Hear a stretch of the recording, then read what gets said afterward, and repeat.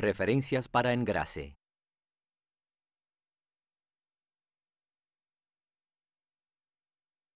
En la mitad del turno, después de cuatro horas, efectúe una breve verificación visual de lo siguiente. Fugas hidráulicas, daño en las hojas y pernos flojos faltantes. Engrase todos los puntos de engrase hasta ver la extrusión de la grasa al abrir y cerrar la mordaza. Se debe hacer una inspección completa al final de cada turno o cada ocho horas, como se describe en el manual del propietario.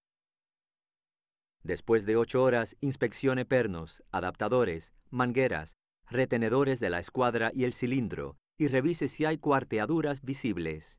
Cuando haga el mantenimiento, engrase todos los puntos hasta ver la extrusión de la grasa.